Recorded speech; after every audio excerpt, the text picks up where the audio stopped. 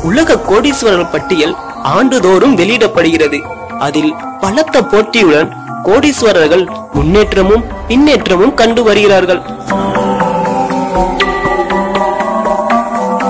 உலக கோடீஸ்வரராக பில்கேட்ஸ் நீண்ட காலமாக முன்னிலை வைக்கிறார் இருந்தாலும் தற்போதைய நிலையில் முதல் இடத்தில் இருப்பவர் ஜெப் போசஸ் இவர் அமேசான் இணைய வர்த்தக நிறுவனத்தை நிர்வகித்து வருகிறார். இன்று இந்த நிலை இருந்தாலும் உலகின் முதல் கோடீஸ்வரன் என்ற பெருமைக்கு சொந்தக்காரர் ஜான் டி ராக் பெல்லர் இவர் ஆயிரத்தி எண்ணூத்தி முப்பத்தி ஒன்பதாம் ஆண்டு ஜூலை எட்டாம் தேதி நியூயார்க் நகரின் ரிசோர்ட் பகுதியில் உள்ள ஏழை விவசாயியின் மகனாக பிறந்தார். தன் சிறு வயதில் உருளைக்கிழங்கை காய வைத்து ஒரு மணிக்கு இரண்டு பென்சு கூலி வாங்கி தன் வாழ்க்கையை தொடங்கினார். தனது வாலிப பருவத்தில் ஒரு வணிகவியல் கல்லூரியில் மூன்று மாதங்கள் வியாபாரம் பற்றிய பயிற்சி படிப்பை மேற்கொண்டார். தனது பத்தொன்பதாவது வயதில் இங்கிலாந்து நாட்டை சேர்ந்த கிளார்க் என்பவருடன் இணைந்து பங்கு சந்தையில் பங்குகளை விற்கும் வியாபாரத்தை தொடங்கினார். மேலும் பல தொழில்களையும் முயற்சித்து பார்த்த அவருக்கு பெட்ரோலிய கச்சா எண்ணெய் சுத்திகரிப்பு தொழில் கை கொடுத்தது. இருபது வயதில் அமெரிக்காவில் எண்ணெய் இருக்கும் இடங்களை தேடி அவற்றை எளிய முறையில் அதிகமாக தோண்டி எடுத்து விற்பனை செய்ய தொடங்கினார்.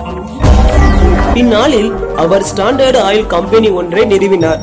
இது உலகின் மிகப்பெரிய பெட்ரோலிய நிறுவனங்களில் ஒன்றாகும்.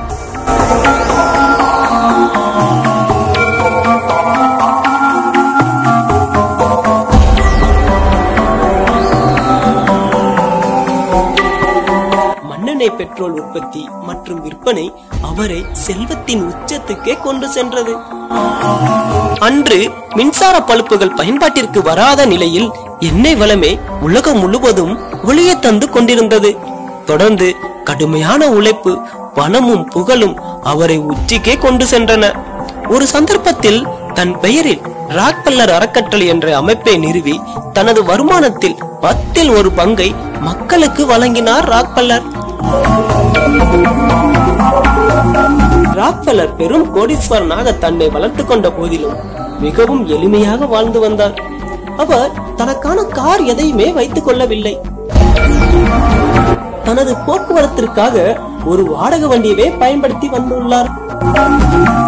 ஒரு நாள் அந்த வண்டி ஓட்டுநர் அவரிடம் ஐயா தாங்கள் மிக பெரிய கோடீஸ்வரர் என்பதை நான் அறிவேன்.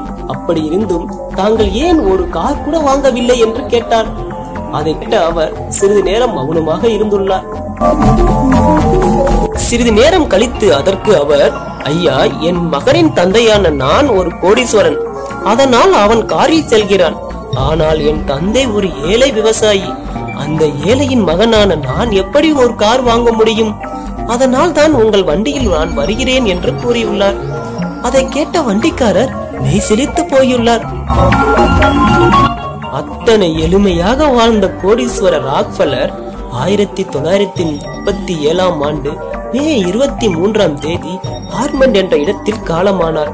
இன்றும் அமெரிக்காவின் செல்வ செழிப்பான குடும்பங்களில் ஒன்றாக ராக்ஃபல்லர் வம்சம் விளங்குகிறது.